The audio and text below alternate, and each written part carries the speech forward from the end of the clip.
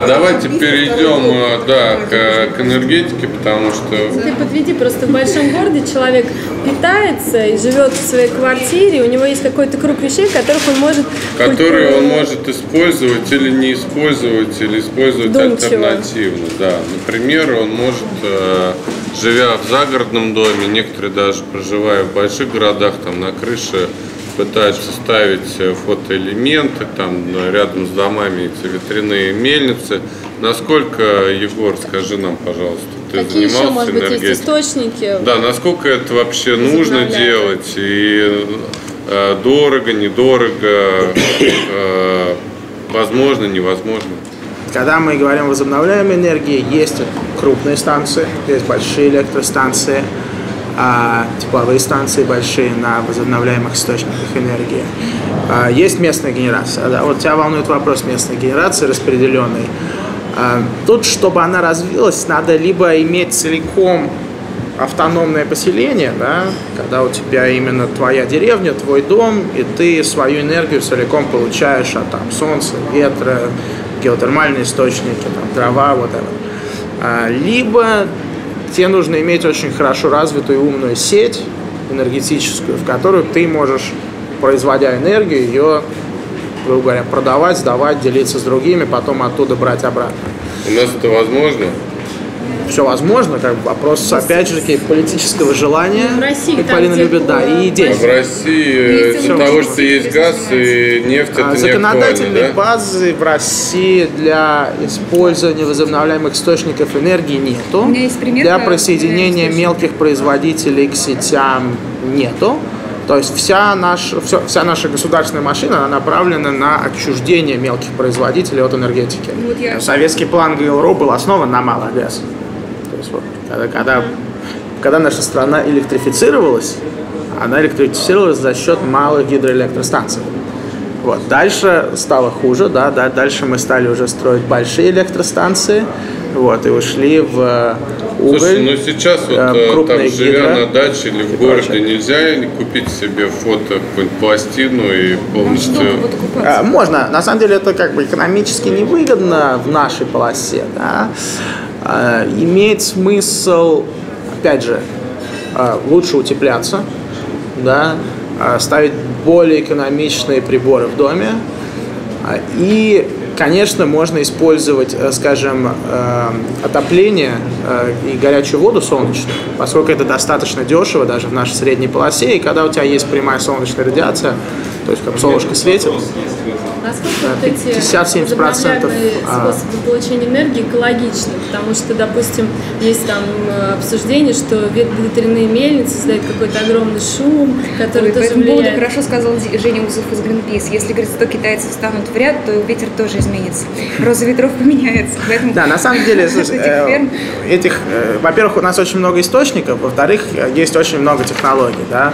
Там в солнечной энергетике, там, например, там есть, грубо говоря, три направления, которые еще делятся, еще делятся. Вот. В том же ветре тоже достаточно много технологий, поэтому э, можно сказать, что без вредного нет ничего. И все, что выходит на большие масштабы, да, чем больше масштаб, тем больше вред. Это А обрушило Италии, кстати, всю мировую э, промышленность На Сицилии солнечную.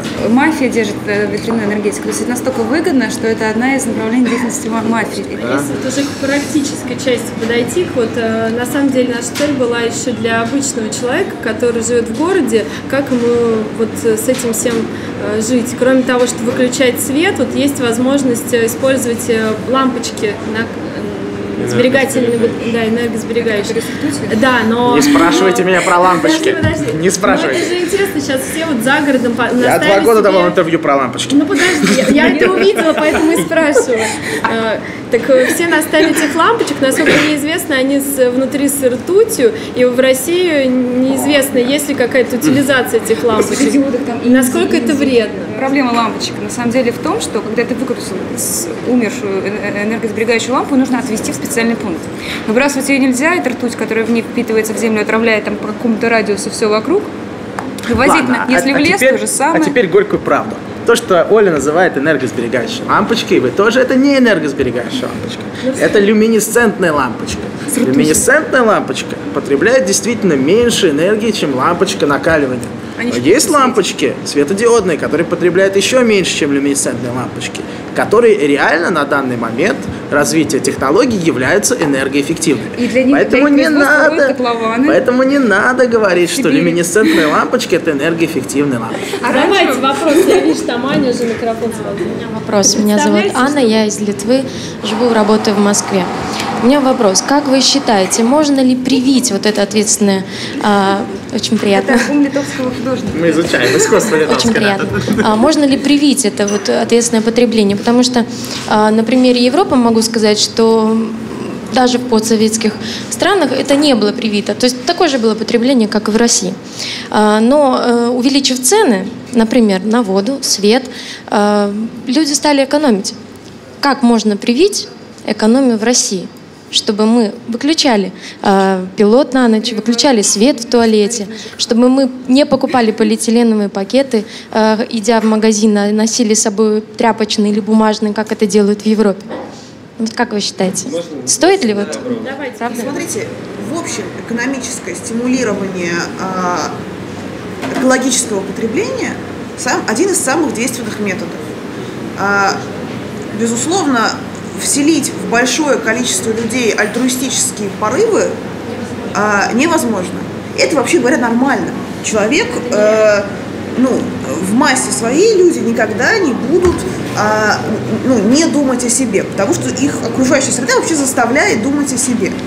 А, политические меры, направленные на развитие разумного эгоизма, разумного рационального эгоизма, а, который распространяется на локальные сообщества. Я буду делать другим хорошо, чтобы мне было хорошо. Ну, это вообще нормальная социальная деятельность, которая э, в разных странах, в том числе и в России, я думаю, будет развиваться э, больше. Вот когда Чубайс был председателем ты ЕС, не хочешь вопрос они задать? все начинали все свои выступления и заканчивали тем, что надо поднять тарифы на электроэнергию. Давайте еще и э, на самом деле это очень правильно. Погоди. В. Европе как раз-таки, да, есть рынок электроэнергии, да, который работает. А, И если Есть и другие у нас э, были бы мировые цены на газ, электроэнергию, то наша эк- экономика бы не проигрывала другим экономикам. Нашим производством, вот Алексей Иванович за счет производства, им бы пришлось экономить энергию, нашим жителям тоже пришлось бы экономить энергию. И тогда бы вся система была бы модернизирована и работала эффективно. Почему у нас не строятся новые электростанции в стране? Почему у нас износ основных мощностей 70%, там, да, больше? Потому что как раз-таки государство регулирует тарифы. Сейчас накаркаем, везде цены повысят, будем сидеть. Все-таки вот мы здесь с вами сидим, разговариваем, разговариваем, а, а нас так мало с вами, если честно. Надо как-то это, привлекать побольше народу и, в общем, вступайте в комсомол, ребята. У нас есть комсомольская организация, это кого? Здравствуйте, меня зовут Олег. А, Я из города Норильска. А, Норильскому Как никелю. приятно. Да, да, да, очень знаком с, с организацией Норильский никель. Просто хочу сказать пример из жизни, а, страшный пример, к сожалению. Я там вырос, 17 лет прожил, приехал сюда, и сегодня, ну, в наше время я сейчас узнаю, что а, официально какими-то организациями признано, что Норильский никель это зона экологического бедствия, а, и что средняя продолж- продолжительность жизни на 10 лет меньше. Это и еще я в вам 80-х годах было. а, ну да. Ничего и нового. сейчас, наверное, еще страшнее, но я хочу сказать, что все население Норильска, 99% этого населения ничего об этом не знает. Я не скажу, наверное, ни- ничего нового. Хочу просто поддержать, наверное, Олега о том, что нужно начинать с себя. И я просто хотела отметить, что ну вот я последнее время все чаще и чаще замечаю, что людей, которые делают осознанный выбор относительно всего, их все больше. Либо просто мне так везет, и я общаюсь с такими людьми, но их реально очень много. И очень хочется верить, что их будет еще больше. Катя, от тебя есть что-нибудь сказать? Екатерина Лебедева, постоянный член видеоклуба. Вот. А, Мне, наверное, хочется сказать, что сейчас очень важный момент а, для обсуждаемой темы, потому что сейчас очень модно стало быть осознанным. Те, кто реально осознаны, они как только появится возможность куда-то отвезти свои пластиковые бутылки, они их отвезут. А давайте возьмем тех, кто еще не готов, и тоже себе подманим. Мне кажется, это перспективно, и сейчас это должно развиваться. Такая задача. Спасибо.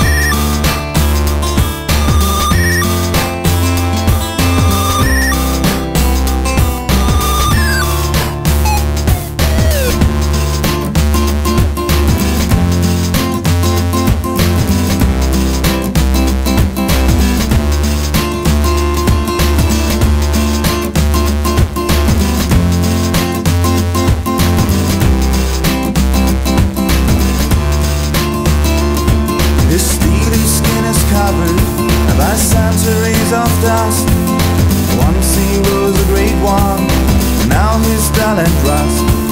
And all the tea he's crying, can you feel the pain of the sad, sad robot? And it's driving him insane. He can turn back time and history, so his life became.